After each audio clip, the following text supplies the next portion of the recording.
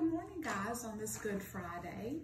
I hope you guys are doing well. Gracie and I were just working on our activities that I'm gonna be telling y'all about after I get through giving y'all a short little lesson.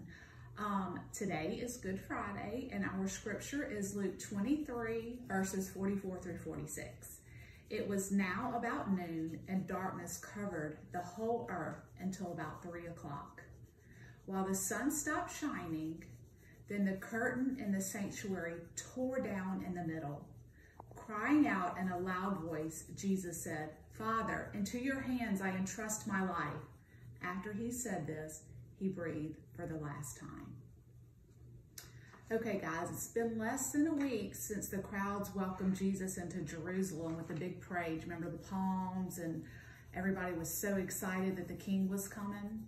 Now the crowds are angry some people thought Jesus was a liar. The highest priest did not like that he called himself the Son of God. And the Roman leaders were scared that the people thought of him as a king. Jesus was put on trial and sentenced to die on the cross. Jesus could have stopped the people who wanted to kill him, but he didn't. Instead, he gave himself up for all the people in the world out of love for all of us.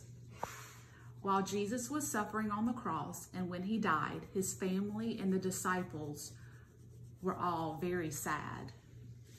It's okay for us to be sad today too, as we remember how Jesus died.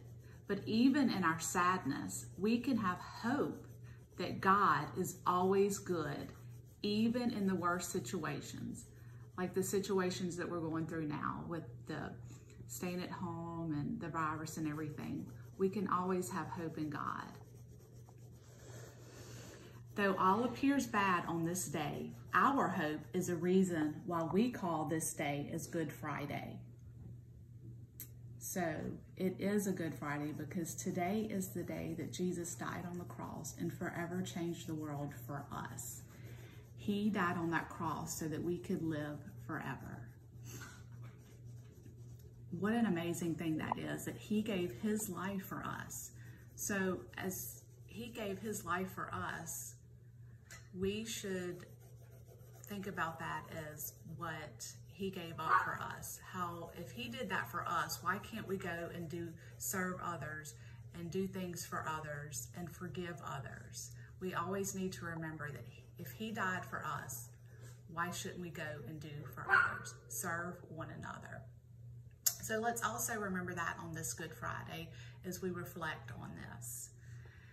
So y'all's activity today, which Gracie and I are doing, get a piece of paper, put some, any, we had some painter's tape, so we put some painter's tape down, uh, and then just color pencil, marker, whatever you have, color across it, and then you can take your tape off and then you'll have a beautiful cross in the middle. And what I'm gonna do is once I take my paint off and I have my cross in the middle, I'm gonna write hope.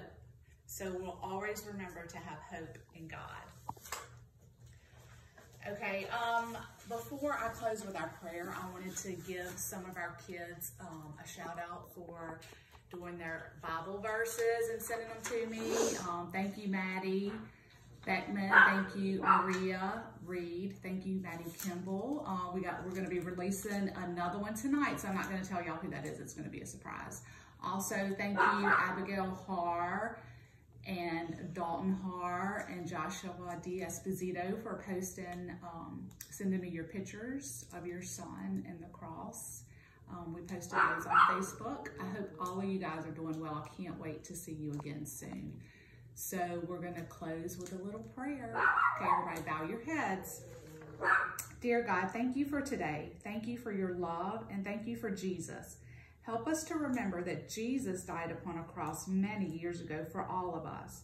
We are sad, yet we know that you are with us no matter how we feel. Thank you that your love for us is stronger than death. In the name of Jesus, we pray. Amen. Okay, guys, see you tomorrow.